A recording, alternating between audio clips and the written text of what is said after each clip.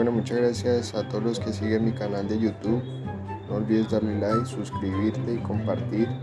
En este video te voy a mostrar una huaca, la cual es oriunda del departamento del Cauca, Colombia, eh, de la ciudad de Popayán. Es de la huaca, es de los pubenenses.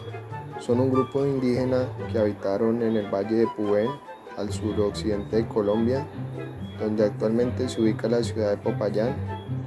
Provenían del continente asiático, llegaron al valle del Pubén aproximadamente mil años antes de la llegada de Cristóbal Colón a América, donde se sedentarizaron y desempeñaron la agricultura, los tejidos y la cerámica.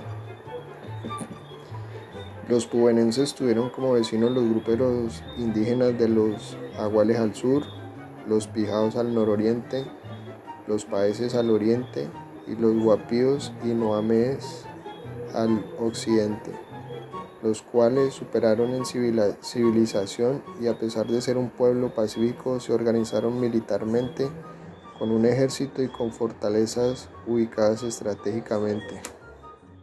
Lengua de la etnia Misak denominada Wampi Misamerawam. Aspectos de su vida social, económica y política. Su base de subsistencia fue la agricultura en cementeras. Conocieron alfarería para uso doméstico y ritual.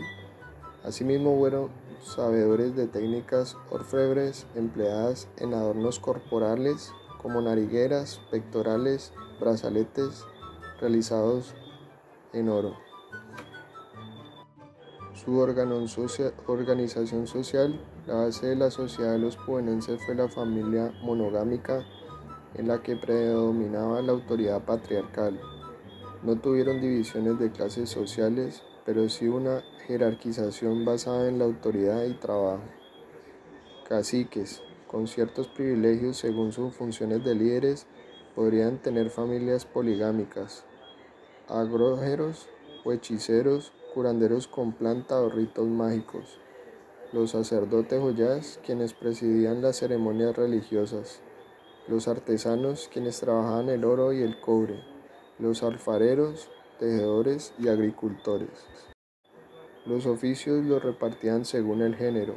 Los hombres le correspondía la caza, la guerra, la cerámica, la fabricación de armas e instrumentos musicales, la pesca, la orfebrería, los metales y la construcción de viviendas, mientras que a las mujeres le correspondía la creencia de los hijos, la preparación de los alimentos, los tejidos, los hilados, el cuidado de los animales domésticos y el cultivo en la huerta. No olvides darle like, suscribirte, compartir. Este es un poco de lo que se encontró en esta huaca. Suscríbete.